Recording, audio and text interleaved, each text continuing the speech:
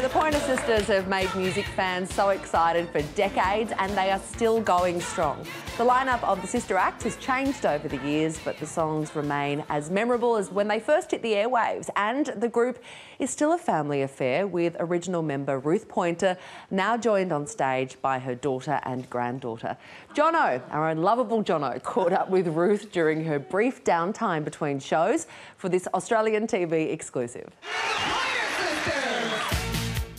It's official, folks. I think I am a Pointer Sisters super fan. I'm so excited, and I just can't hide it. I think I'm just about to lose control because Ruth Pointer's over there.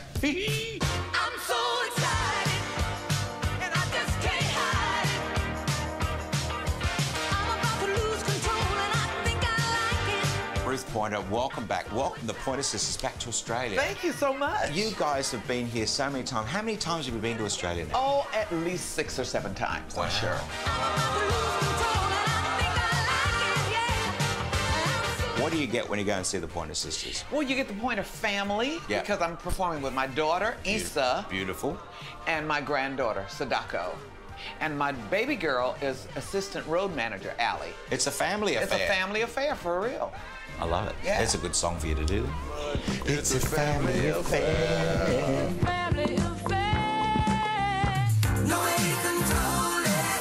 It's totally automatic. Whenever you're around. I did go down to my uh, record archive and I found that I actually have The quite- original. I know that's the original That's Pointer the original right there. That's unbelievable. So That's when was this? 1973.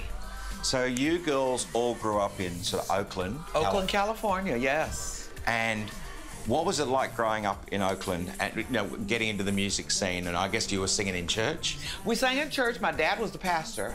My mom was the assistant pastor. So it was like, you will be singing in church. That's right. Okay? But as we grew up and got older, people discovered that we could sing together. And of course, we learned the fundamentals of singing in church. And so we began to blend and harmonize naturally just from what we did in my dad's church. And uh, people started paying attention to uh, what we had to offer and asked, started asking, particularly my two younger sisters, Bonnie and June, to do backup singing for different groups in the Bay Area Tower Power, Grace Slick, Taj Mahal. Wow.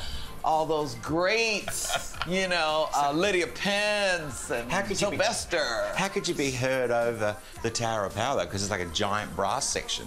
Well, we managed. He's so shy, so He's so shy. June had some issues with her throat, and they called me in because I wasn't even with the group at the time. Right. And they called me and said, "Can you come in and fill in for June?" I said, "Okay." And I went in, and Sylvester dressed me all up in some of his drag, and yeah, it was a good time. I know it's quite funny with your glasses. You look like sort of Whoopi Goldberg. Bless her. I I'll get my her. cigars out of the car for you. Um, so, Do you smokes really? cigars. I do too. Oh, really? Yes. You smoke cigars. Cubans, baby. It's an exclusive. I don't- love it. You're not supposed to buy Cubans if you're in America, though. I really only smoke them when I go abroad, where they have them available. Here they are. They're Cubans. Real Cubans. What you want, baby, I got. What about the kind of music that you grew up listening to, or the sort of stuff that you went, I want to do that? I used to listen to Aretha, of course, all of Motown, the Supremes, Yeah. Marvin Gaye, Stevie Wonder. Very. You have this incredible musical heritage. Yeah. Did you ever have a, a day job in mind? I mean, what were the Pointer Sisters? Were they always going to be in showbiz? My sisters, Bonnie and June, were always going to be in show business. And uh, Anita and I did some odd jobs on the side, and I was a key punch operator. Anita was a legal secretary. We were just really singing because it was easy for us, it was fun. I want a man with a slow. That's what it's got to be like 40, 50 years of the Pointer Sisters almost. 40 plus. And now my daughter and my granddaughter. The family business. Was there any opportunity that your daughter and your granddaughter would? What about if they'd said, I really don't want it? Well, you know, my daughter, Issa, she actually did say no at one point, And I just waited. And she got a little older. And so my sister Anita and I pulled her in And she's been with us ever since. Put this bag over her head. I'm feeling woozy, Mom. So you guys are playing tonight in Sydney at the Enmore Theatre. Yeah. Which is a lovely venue. And then Melbourne tomorrow night. Fabulous. And are you going to have a bit of a rest after the tour? we go back home and we have a little bit of a rest, a few weeks, and uh, then we're off again. What is a Pointer Sisters after show party like these days?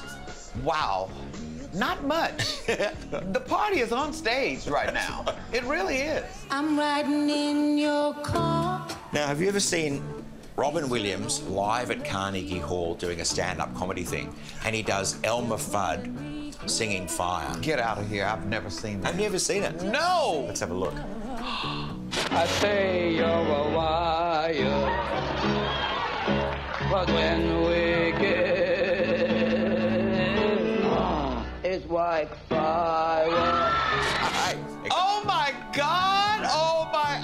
I've never seen that.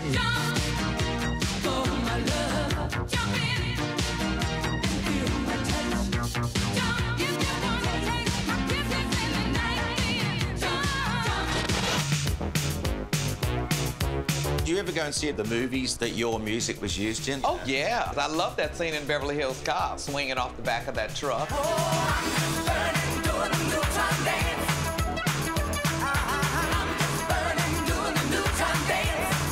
the memories and all the fabulous music you've given me and the whole of Australia and the whole of the world over the years. Thank Oh, it's you for such a that. pleasure. And God bless all the pointers wherever they are. Thank you so much. and God bless you. Thank you, Jonathan. Thank you.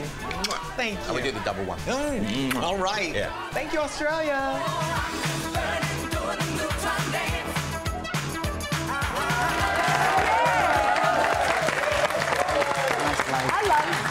Your celebrity stories, Jono, and uh, you're now an honorary uh, Pointer sister. I'm a pointer brother. I'm, like in the cause, there's that brother hardcore. But um, no, that, that's such a lovely lady, and then they have been around for so long. And I, I was amazed. I went down to my little vinyl cubbyhole downstairs, and I realised I've got a Pointer Sisters album, and that's the first Pointer Sisters album ever. It's and then I found hit about after six others. hit, isn't she, it? She said, I don't even have that album anymore. This was way back in 1973. Yeah, Wow. I was only I two. didn't realise they went back to- I was yeah, only that's two right. in those days. But I love that she's still doing it. She's still singing and, loving it. And the fact that, like Stevie Wonder, she has her, her, her daughter and the granddaughter in there, and, and the fact she used to go and see Prince when he was playing at the LA Airport Hilton. And I said, how many people would go to a gig to see Prince in those days? She said there was 200 people there.